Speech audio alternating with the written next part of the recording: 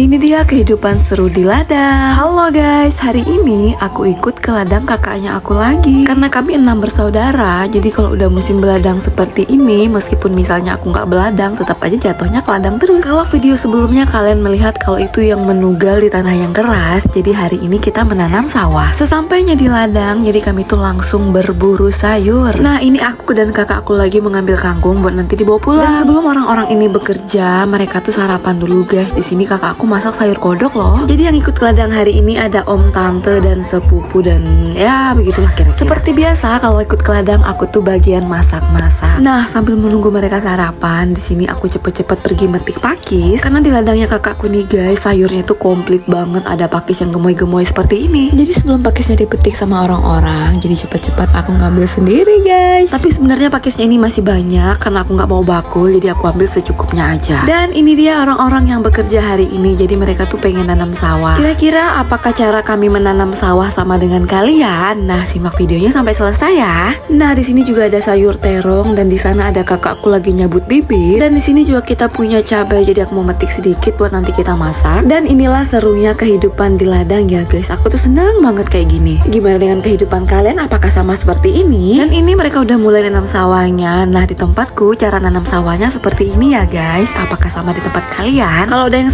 salfok sama kayunya masih banyak dan memang di tempatku seperti ini ya. Jadi nanam sawah di tempat kami itu nggak perlu dicangkul-cangkul atau dikasih pupuk. Seperti ini aja udah pasti hasilnya banyak. Dan ini dia kakakku yang punya ladang hari ini. Nah, jadi kami tuh ngambil airnya seperti ini, tapi itu buat cuci piring aja ya. Sebelum kita masak, kita mencari bumbunya dulu seperti serai, jahe dan juga kunyit. Jadi semua bahan ini pasti sudah tersedia di sekitaran pondok. Sambil masak aku mencari lagi sesuatu di pinggiran pondok, jadi aku menemukan nanas. Nah, ini tuh paling enak kita buat pencokan. Jadi syukurlah hari ini kita bisa bawa pulang. Setelah jam 12 siang, ini dia mereka udah pulang makan. Ada yang sama nggak sih kalau makan di ladang itu terasa enak banget? Walaupun lauknya sederhana, tapi rasanya tuh tetap nikmat. Gimana menurut kalian?